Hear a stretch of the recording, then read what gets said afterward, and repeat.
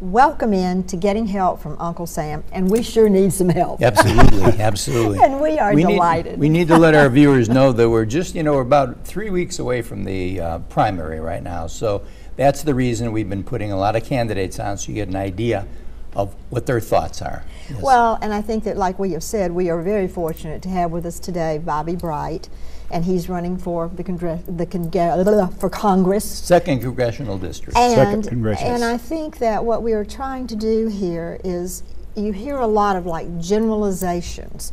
And what we want you to do and have advocated, dig into the details. The devil truly is in the details. And so, uh, Mr. Bright, we are going to ask you a couple of questions that are definitive. And Okay. uh, let's, let's start with some of the things that really matter to you. I'd like for you to dig a little deeper into funding Right. Well, be glad to, Virginia. Thank y'all very much for having me on your show. I watch it every Sunday along with thousands of other Good. people out there, and uh, you. and you really uh, help us understand as we get older what the main issues are that affect us daily. Uh, so thank you very much.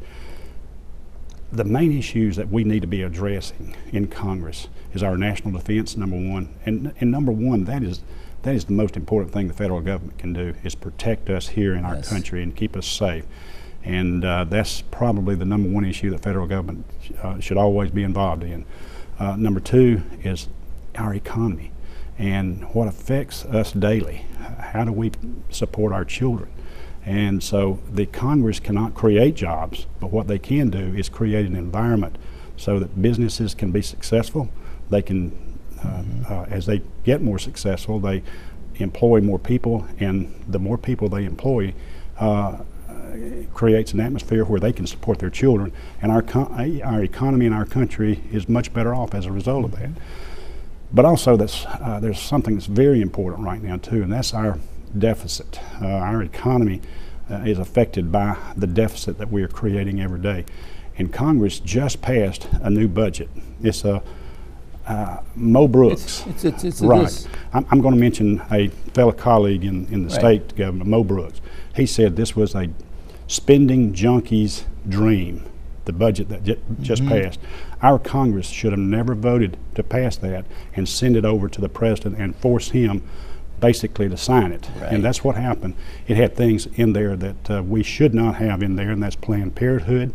It had it increased the deficit by another trillion dollars, and it also funded uh, the Affordable Care Act, uh, things that our congressperson promised years ago that she would not support. But when you vote for a budget and it has all those items in there, you're still approving what they do uh, a- a- in general. So you can say all day long that you're not uh, supporting abortions and that you're not sending money over to Planned Parenthood for them to uh, fund abortions, but if you fund uh, them and let them keep the doors open, they'll take our money, put it over here, and use some of their other money to fund abortions. So the best thing to do is vote against it. And if any budget ever appears in front of me, I will vote no if it's got Planned Parenthood or if it uh, increases our deficit like this past budget did. And look, they took the budget and they, t- it's a very, it's so many pages into the budget. That's right. And it, in two hours, they wanted everybody to look at it and vote. That's exactly right, and that's this no way to ridiculous. do. It's no way to do. And I promise you, and I'm committed to the people of Alabama. If that ever happens to me, they've got a no vote from me, and they won't have any negotiating to do Mm-hmm. with me at all. Another major issue that we need to be concerned with is our representation on two key committees in Alabama that we need. You know, for years, uh, Bill Dickinson and uh, Terry Everett and myself served on the Armed Services and the Agriculture committees. Those are key committees. The number one employer in the state of Alabama is farming, is Yes. agriculture More than all the automotive. more than the automotives than any other industry uh, that we can mention or even think about. So for us not to have a representation directly on that committee or on the Armed Services Committee to protect our military bases and our veterans is really tremendous uh, negligence on the part of our representative in Washington, D.C. Now you can get on some of these. I I call them the wine and dine committees in Washington, and one of them is appropriations. Right. Appropriations is a wine and dine committee. You have no direct input on uh, on Alabama as far as uh, the military uh, is concerned and the farmers are concerned. Uh, and you, but you get invited to all the parties and all the receptions up there if you want it. But I don't want that. I want to go up there and work and protect the people. So I'll get back on those key. The Armed Services is the most powerful committee in Washington D.C. I agree. Mm-hmm. And for us not to be on there with two military bases and oh. all the veterans Right. is, is malfeasance, as far as I'm concerned.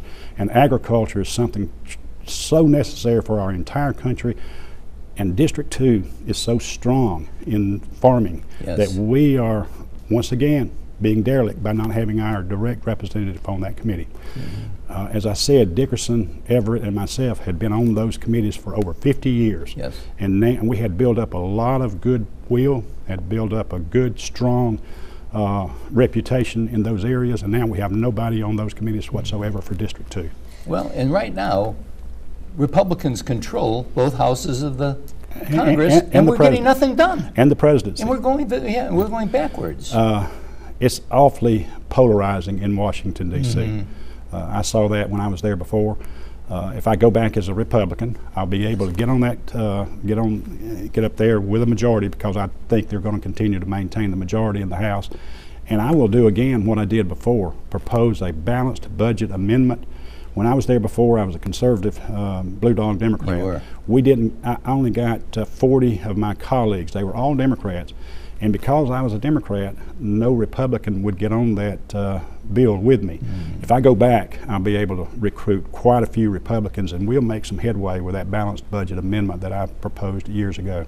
People can go to your site to learn more right. about you. It's Bright for Congress, right? That's it. That's it. They can get a hold of me anyway. Uh, as long you just Google Bright, and you'll you'll see my You'll get all kinds You'll see my face come up. Okay, thank you so much and best of luck. And Thank you. remember this the election's not that far away.